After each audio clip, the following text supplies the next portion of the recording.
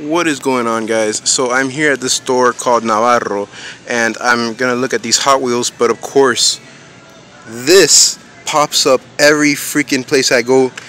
I have so many of these I don't even know how many I have anymore. The Dodge Charger Drift and yes I'm gonna take it. I'm gonna freaking take it. Every time I see one I buy them but dang it I keep seeing them everywhere.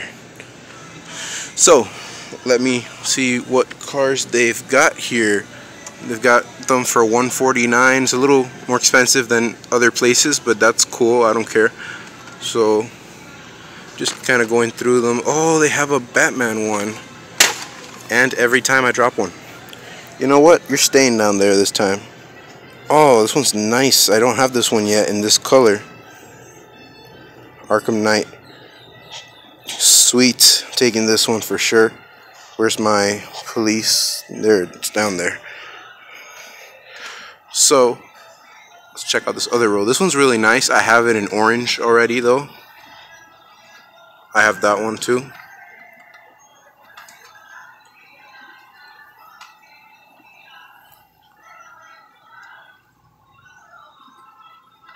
Hmm.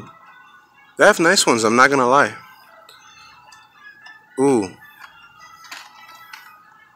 Check this out, guys. This Nissan Skyline. Now this is nice. This is really nice.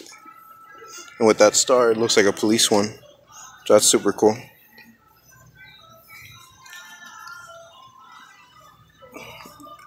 That is super cool. I might take it. Oh wow, and I didn't notice this. So check this out. They got an army one of Matchbox. So that looks dope.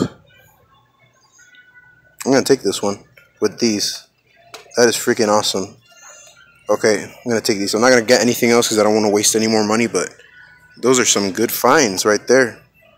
Thanks for watching, guys. Stay tuned for other hunting videos. Till next time, peace out, guys. Yee, got some good cars, boy.